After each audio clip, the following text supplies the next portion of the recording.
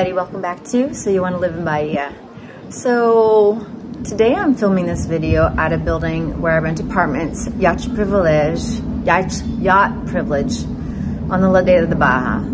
And uh, let's see how this works out because I didn't ask permission to do this. Um, so I'm making this video because I get this question all the time. Why do I live here? And do I like it here? And so I thought, I don't know if this is uh, in bad taste to make a video and then you just send people the link when they ask, but I thought, you know, a lot of people want to know, so here we go. It started off about, I think I first came here 16, 16 years ago on vacation. And when I came here, I loved Salvador so much, I bought an apartment and it was a vacation rental. So when I wasn't here, I was renting it to tourists through the agency Paradise Properties, which I ended up buying. And that's what I do. Uh, and so I was renting my apartment and staying when I was here, collecting some money, rental money, and having all my bills paid for. It worked out really well for me. And then I sold my apartment. Things uh, took a turn for the worse for me financially. So I sold my apartment and then three months after selling it, I decided I wanted to move here. I decided to move here because I'm a single mom. At the time, my daughter was two, and it was just, childcare just so expensive.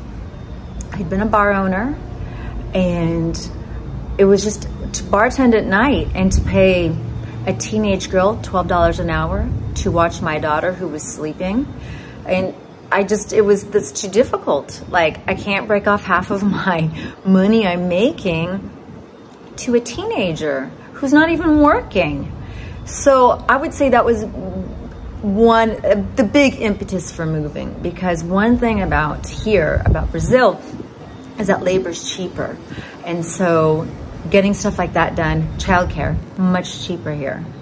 Uh, when I came here, when I would go out at night, I was paying like 50 reais a night just to have a babysitter watch her all night long so I can go out.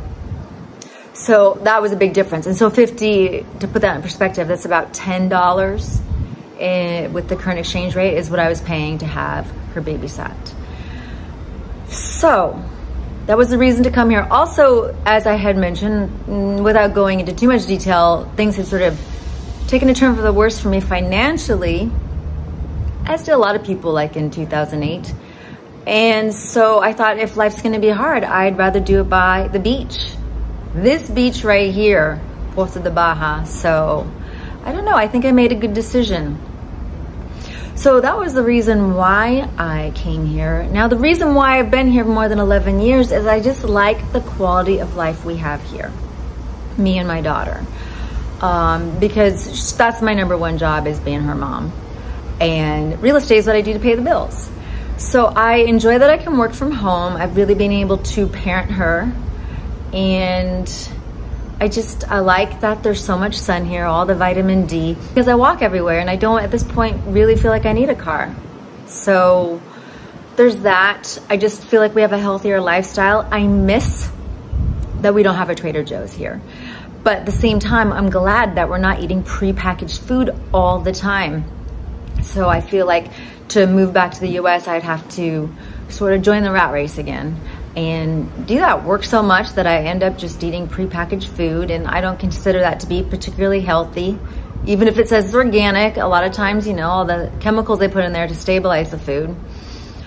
That's just where I'm at with that. I think that living here, I've become a much better cook because now there's a bagel place, but when before when I wanted bagels, I had to make them myself you know, a curry sauce, make it myself. It's not in a jar here. So I appreciate that I've become a better cook here. I just think that in general, we have a healthier lifestyle and that is really important to me. And then here's the, uh, the spicy thing I'm going to say, but I'm a mom and I think it's, and it's really important to mention, I just came back from California and I see California, that they're really pushing all this non-binary trans stuff on kids. And I will tell you, that's not a thing here yet.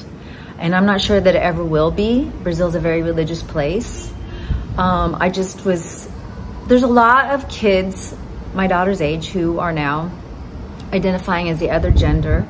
My daughter at her school, her school is either K through 12 or one first grade through 12th grade, maybe about five to 600 kids. And as far as we know, there's not a single trans kid at her school. It's not a thing here. And I, as a parent, don't like this. I feel like it, they're really pushing it on kids in the US, especially California. Now, I know that's going to probably be an unpopular opinion to hear, but it's where I'm at as a mom. I think it's already so hard to be a teenager, and you don't need to throw that in the mix, you know, have them doubting their gender. And so I just think that I like how simple our life is here. And I appreciate it. And I think this is the best place for me to be raising my kid. And I'm happy to be here with my kid. And I'm happy with the decision I made to live here. This video was actually quicker than I thought it would be. um, yeah, it's it's a really nice, simple life here. I mean, I do miss some of the creature comforts of the first world, but it's a trade-off because I don't want all the first world problems as well. Anyhow, I hope you found that interesting. I know a lot of people have been wanting to know. I get asked a lot why I'm here and why I've stayed. But that's, in a nutshell, that's why I have.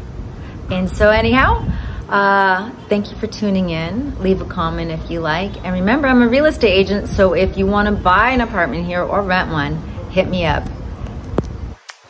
Thanks for watching. Beijos!